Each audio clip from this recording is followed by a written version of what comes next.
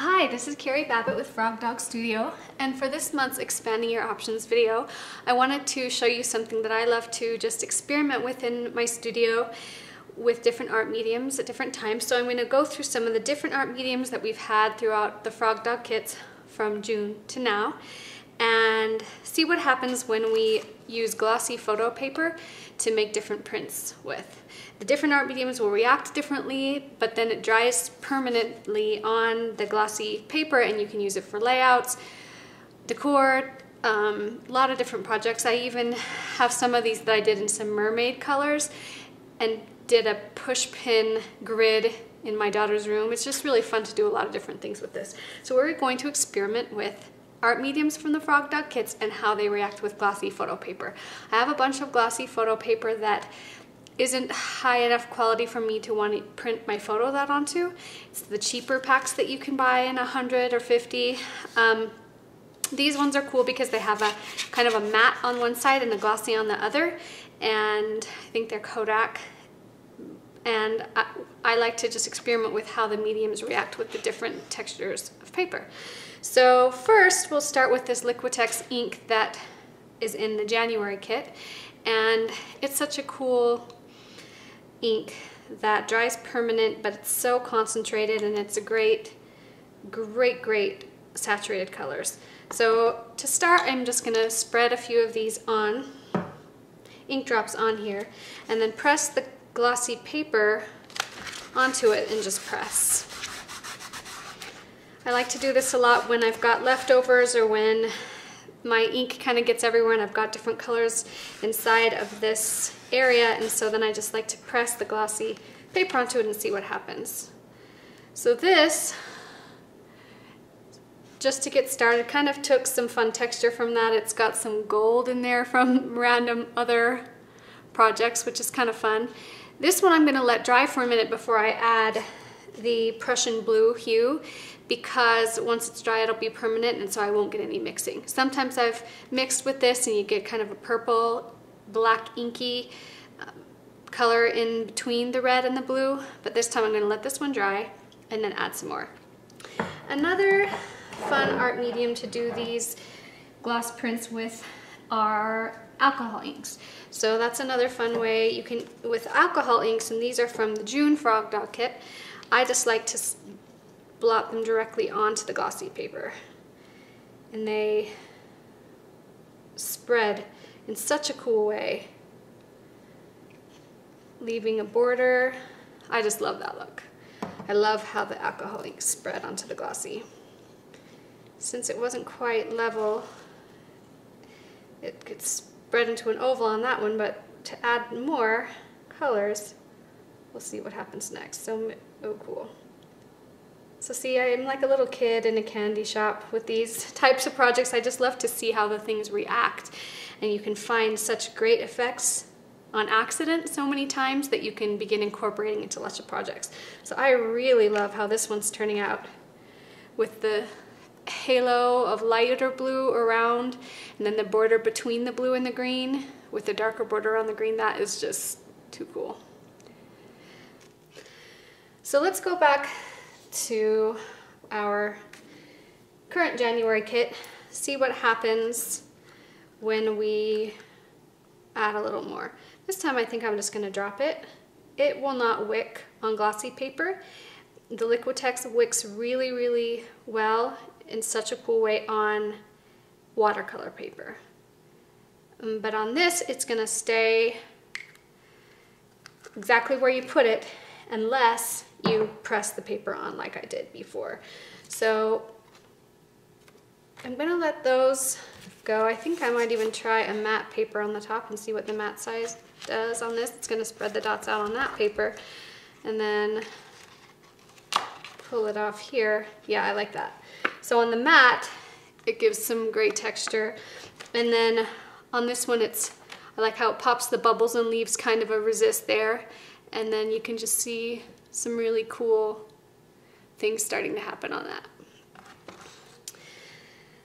So moving on to the next Frog Dog kit, it was July's Distress Paint. So with this, I like to just ink them directly onto the onto the glossy paper. They dry to a chalky finish, but they blend well before. And uh, this is really fun to kind of put the dots on first and then spread them after so they still stay because of how quickly it starts to dry on the glossy paper but you can kind of spread that out like that and see how the dots are still there. So I'll add some of the cream.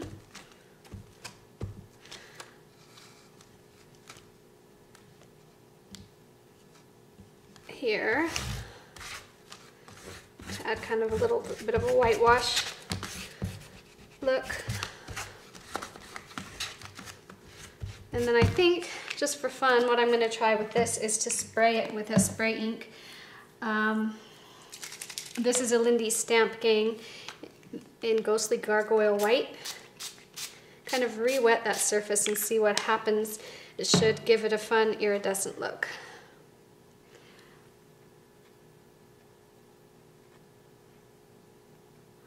So that would be fun to add more colors to.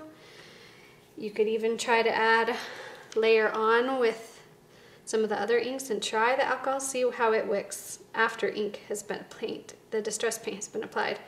So it kind of gives a more, a slower wicking and less uniform, but kind of a really cool, more amoeba-like effect. It's actually pretty cool. So if you watch, you can see how differently that wicks than it did the first time in the smooth uniform way on this plain glossy paper without the distress paint on it first. So that's kind of cool. That could be a fun Halloween thing. That could be a fun kind of a seaside barnacle thing. Have fun with that. I think I'm just gonna add several there. Monster thing. it's pretty fun. Or an animal skin print you could do with that kind of an effect in browns or something. That's pretty cool. Okay, moving on to September at Frog Dog. We had the Faber-Castell pens, Dylusions spray, neon ink pad, and so those different art, art mediums will be really fun to play with on this. I think these just look really great, kind of the watercolor brush art effect that's popular right now. And that will dry so quickly on the glossy paper. So that, it might be kind of fun to just really freestyle draw a few things there. And then maybe spray it with the white. This will just give a tone-on-tone -tone effect with the gloss, but it kind of raises the gloss up a little bit and it's kind of a fun look. If I can get it to spray, I'm almost out. There we go.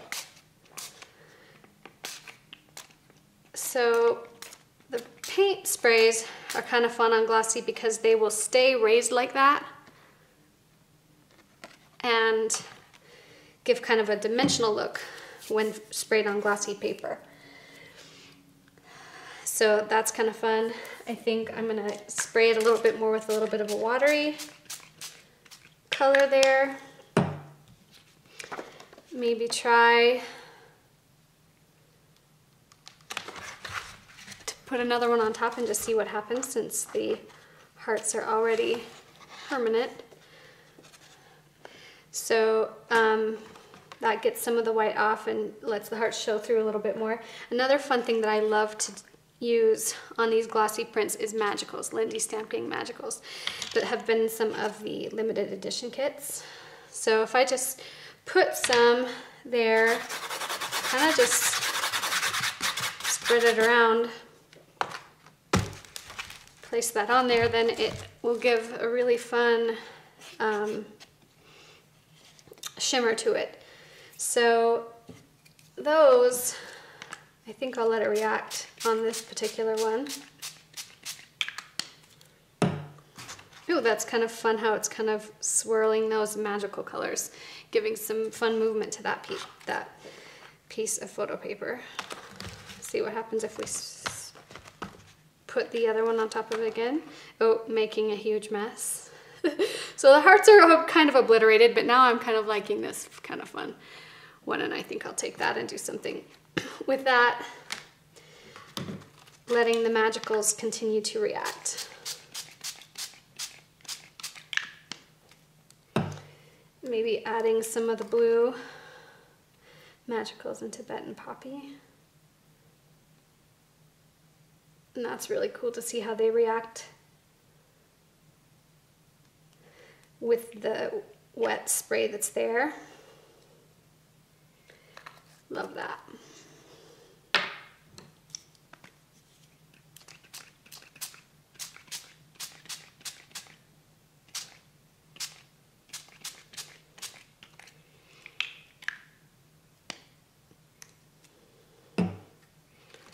So I think that that could be a really cool effect.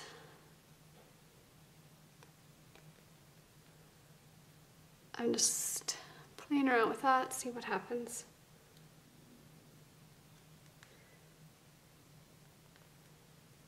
So it's just really fun to play around with how each art medium reacts on the glossy paper. I think that's going to be kind of such a fun creamy watercolor effect that I'm going to play with later. And then my go-to favorite is Lindy's spray for the glossy art press. It's just such a cool effect. And um, you can either spray it on directly and then it will dry quickly on there and then that one will act as a resist for the next color. And so that's kind of a fun thing to play around with. Try another Lindy's here before it's all the way dry and just see what happens. Awesome. Add some white for some iridescence and to spread out those black purplish ones. So I think I'm gonna add some more of the gold. And just see how that reacts. These are really cool just how they are, or they are fun to um, press onto a paper and kind of see what happens that way. You can leave it that way. I'm going to turn it over to blot it off and spread out the droplets a little bit and just see how that goes. It will give such a fun kind of a texture you'll see as it blots in different areas, spreads out the ink so you get a little bit of haloing and some fun two-tone there, kind of a cool galaxy print. Um, and then the other thing you can do is to just spray the Lindy's directly onto the box and then see how the paper picks it up afterward by pressing onto it. So it's kind of a, maybe a fun creepy thing with the black and the green. Oh, very cool. So this picked up the texture from the box, the corrugated cardboard underneath, and how cool is that? So, as you can see, it's just so much fun to play with different effects that you can get with the with glossy paper and the different art mediums. We've got such cool different starting points for different projects. And it's just a lot of fun. It's easy. It's a no stress creative outlet that you can have when you're just in the mood to create something without worrying about if it messes up or not. And along the way, finding some great techniques in the way the inks and the art medium spread, the texturing you can get. And so some of these I'll leave as is. Some of them I will play a little bit more with and kind of just see what happens and then they'll appear here and there throughout my different art projects, on my wall, you never know. Um, and finally, here is my art journal page that I created for this month. So I use the same technique as far as pressing the, the paper. I just put some ink here and then close the book onto a different paper and press it up. I love how it kind of created this perfect little butterfly in here, even with the head and the antenna.